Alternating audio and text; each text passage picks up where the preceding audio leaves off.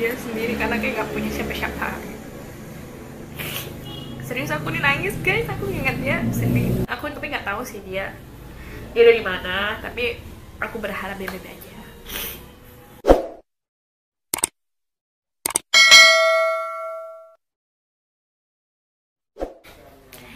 Halo guys, welcome back to my channel Pak Upa. Nah kali ini seperti yang aku janjiin kemarin, aku udah story sama kalian di Instagram. Jadi aku di situ pengen curhat time, jadi buka sesi itu curhat. Nah aku juga bingung sih untuk uh, namanya itu apa ya yang pantas ya, curcol atau cur curhat with Ulfa. Pokoknya buat kalian yang punya ide boleh kalian komen di bawah untuk nama nama cur sesi curhatnya aku. Nanti bakal aku buka banyak sesi-sesi curhat tentang psikolog horor atau tentang uh, curhatan bullying atau tentang tentang pribadi kalian. Pokoknya tenang aja, aku bakal samarin nama kalian kalau kalian minta samar. Tapi kalau misalnya kalian nggak minta disamarin, Okay, it's okay, fine brother. Before I want to start, so buat kalian langsung aja subscribe my channel. Jangan lupa tekan tanda lonceng biar kalian selalu stay tune sama video aku yang lain. Jangan lupa like, comment juga dan share buat teman-teman kalian yang membutuhkan. So this is my video. Let's go to my video.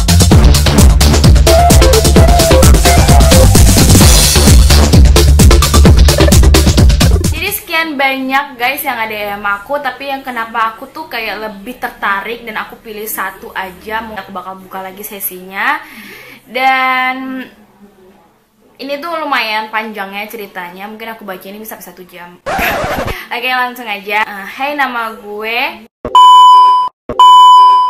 Kejadian ini gue alami selama setahun yang lalu. Gue mau cerita tentang gadis yang lumayan gue kenal walaupun hanya di dunia maya. Atau lebih spesifiknya di Facebook. Waktu itu gue lagi suntuk aja tuh habis pulang dari tahlilan. Langsung gue buka laptop dan masih berpakaian baju kokoh. Di pertemanan ada yang add FV gue. Namanya Langsung gue confirm aja tuh. Eh gak lama dia ajakin chat. Gue kenalan sama dia dan setelah lama sekitar tiga bulanan gue kenal dia di Dumai dan iseng-iseng gue kirim permintaan hubungan berpacaran sama dia. Ghost, ghost itu karena ghost guys. Kira semenjak kenal dia rasanya gue nyaman aja. Gak masuk akal juga sih. Ternyata dia juga nerima. Akhirnya gue jadian sama dia, teleponan, SMS-an tapi gak pernah ketemu. Gak pernah ketemu, pacaran gak pernah ketemu. Oke. Okay. Karena dia adalah orang Tegal, saking penasarannya sama tuh cewek pas malam Sabtu bulan Juli. Gue bilang ke dia kalau gue mau ketemu, dia setuju. Sampai di terminal gue hubungin tuh cewek nomornya kagak aktif. Ke cewek berat, aduh sialan katanya. Akhirnya gue putusin nginep di hotel sana dan baru besoknya pulang. Dan ketika gue online, gue kirim dinding ke Jayin. Oh dulu kayak zaman zamannya Facebook kan masih ada wall to the wall ya, wall wall wallan gitu.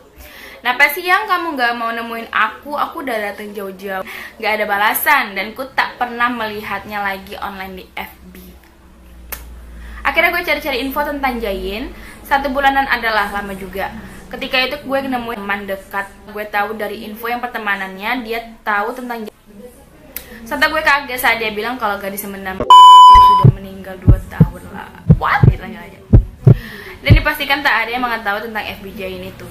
Darah gue berdesir merinding. Gue tanya apakah benar nomor Jane dan dia mengiyakan tapi nomor itu sudah dua tahun yang lalu menghilang. Lalu siapakah yang gue kenal dan menjadi pacar gue di dunia maya? Mhm, serem banget dua tahun loh. Meninggal terus Ebian tiba-tiba langsung muncul terus minta kenalan langsung si cowok ini. Ngajak pacaran dan sumpah ini aku aku merinding cuy. Oke. Okay. lanjut lanjut lanjut. Seketika gue buka FB gue tak pernah lagi melihat dinding dia. Dan yang bikin gue tak bertemannya dengan dan bisa. Semakin tercengang keesokan harinya aku ketik namanya. Ada banyak yang banget yang gue sapa satu persatu ternyata mereka palsu semua. Ini sangat konyol dan ini akan selalu kenang walau gue sedikit terkejut bukan main. Maaf kalau nggak serem. Oke okay, buat kamu ya. Ah, aduh ya Allah. Agak serem ya sebenarnya. Dan dia tuh langsung percaya langsung aja jadian. Guys. Jadi aku setelah aku mendengar ceritanya si dari yang ngirim DM aku ini katanya namanya disamarin. Jadi aneh aja sih gitu ya. Kalau misalnya pacaran gak pernah ketemu. Dan juga dari dunia maya.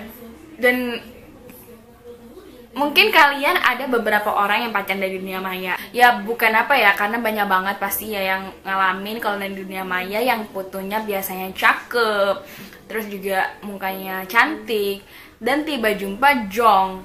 Terus juga ada kenalan-kenalan pacar-pacaran terus tiba-tiba jumpa di salah satu tempat terus diculik dibunuh. Nah itu kan kayak dunia maya ini lagi serem gitu. Dan dia juga percaya percayanya langsung aja pacaran tuh cewek. Yang jelas-jelas dia tuh nggak kenal. Dan itu juga kayak LDRan juga kan. Gak satu tempat gak satu kota. Dan dia langsung percaya nggak jadian heran juga sih lihat kamu ya kok bisa ya pacaran sama orang yang nggak kenal? Maksudnya mengenal sifat lo gitu. Kenapa langsung jadiin aja cuy? Gimana gimana? Kan harus PDKT juga pendekatan mau tahu kayak gimana dianya orangnya kayak gimana masa langsung pacaran. Kau agresif kali pun ya antara ada positif sama negatif ya. Kalau ambil positifnya sih aku kayak misalnya yaitu FB-nya dia itu menghilang.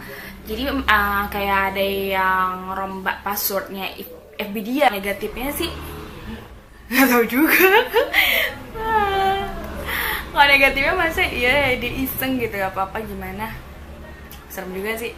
Tapi tetap aja sih dia serem banget ya kayak ngerasa udah cocok sama tuh cewek langsung aja jadian langsung aja pengen ketemu.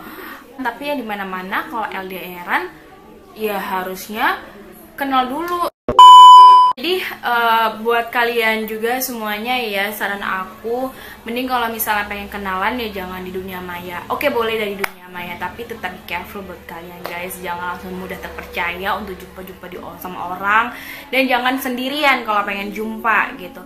Usahain kalian tuh bawa uh, teman atau bawa kakak atau adik abang jadi istilahnya kalian tuh tetap terjaga gitu.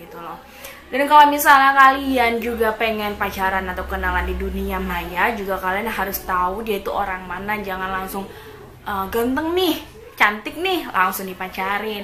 Ya kan kita nggak tahu kalau dia itu pasang fotonya yang foto dia atau enggak gitu guys. Yang jangan sampai kalian tertipu dan akhirnya jadi kecewa gitu loh. Jadi untuk dunia maya kalian harus bisa gunakan sosial media ini sebagus mungkin dan yang penting positif kalian uh, bisa gunakan sosial media ini dengan bijak. Kemarin itu juga aku pengen cerita ya tentang teman aku yang psikopat uh, dan awalnya sih aku nggak ngerasa kalau di itu kayak gitu gitu loh. Maksud aku ada kelainan kayak gitu. Karena selama ini kayak pernah dengar-dengar aja cuma aku nggak yakin kalau ada teman aku yang kayak gitu ternyata. Jadi kemarin uh, dia kan buka tangan pakai jilbab juga sih dia. Dia buka tangan dia gini dan aku heran dong ada garis-garis kayak dia garis-garis tangannya pakai apa sih? Pisau silet gitu loh guys. Pisau silet itu aku nanya langsung sama dia lo itu kenapa? Awalnya ya aku nanya sama dia itu kenapa? gitu. Terus dia bilang uh, aku yang garis-garis aku yang nyayat-nyayat gitu. Langsung aku bilang kok gila? Dia bilang iya aku memang gila deh ya aku ngerasa kayak ketawa aja keke gitu kan. Aku pikir dia bercanda ternyata emang bener gitu. Maksud aku dia uh, istilahnya ada gangguan psikopat ini dan aku cerita cerita cuma aku serem-serem juga dong gitu lah ya kan namanya juga dia teman aku mau kayak gimana juga aku harus berteman sama dia nggak jadi langsung gara-gara aku berpikir dia seperti itu aku langsung jauhin dia. Kan terus aku ngomong sama dia emang kenapa kok pakai di saya saya segala? Emang kalau misalnya saya saya kayak gitu masalah selesai. Terus kemarin itu memang dia ada punya masalah sih guys. Cuma aku nggak mau cerita di sini. Dia ada masalah sama keluarga gitu lah pokoknya. Terus dia bilang aku kalau ada saya saya tangan kayak gitu aku ngerasa puas guys. Puas loh katanya. Puas. Dia puas kok ada nyai di diri sendiri. Dia cerita lagi sama aku uh, kalau misalnya aku juga pernah berpikir kalau aku tuh pengen bunuh diri dan aku pengen ngakhiri hidup ini kata dia gitu aku dengar cerita dia kayak gitu langsung aku nggak ada ketawa lagi udah serius aja muka aku. Ih kenapa? Aku langsung kayak langsung kayak prihatin oke aku aku bisa nenangin dia. Aku langsung ngomong emang kenapa sih? Masalah apa? Seberat apa pun masalah. Ya kita pasti harus yakin kalau kita tuh bisa ngatasin masalah itu. Nggak mungkin Allah itu ngasih masalah sama hambanya yang nggak bisa kita atasi. Pasti bisa kita jalani dan kita atasi seberat apa pun itu. Nggak mungkin dibatas kemampuan kita. Aku bilang kayak gitu sama dia. Dia suka dipukulin sama orang tuanya. Aku nggak mau cerita banyak pokoknya dia mungkin gara-gara keluarga jadi mungkin kayak gitu gitu guys. Dan dia pengen berusaha bunuh diri dan dia selalu ngidupin video-video yang bunuh diri juga. Jadi buat kalian tontonan juga itu bisa terpengaruh guys. Jadi punya video itu semua. Jadi itu dia kayak terpengaruh sama video itu. Jadi dia pengen bunuh diri juga sama kayak yang di video itu guys. Dan di situ aku kayak langsung menyemangati dia. Pokoknya kau bisa. Kau bisa nggak nggak harus kayak gitu nggak harus kayak gitu. Aku tahu iman kau tuh lebih kuat daripada masa lalu. Aku bilang kayak gitu sama dia. Terus dia bilang "Eh, iya memang aku ngerti. Dia sambil nangis gitu kan. Aku jadi kayak kasihan gitu sama dia. Aku eh, aku ngerti cuma aku ada masalah keluarga aku lagi ingat itu aku jadi kayak nangis guys sumpah. Aku ada masalah keluarga. Keluarga aku tuh kayak nggak sayang sama aku. Dia kayak merasa keluarga aku tuh kayak ngasingkan aku gitu. Jadi kayak berat banget cobaan dia keluarga yang sendirinya aja dia tuh nggak disayangin gitu. Dan dari situ dia juga ngekos dia nyari makan sendiri dia biaya dia sendiri. Jadi mungkin dia jadi suatu apa ya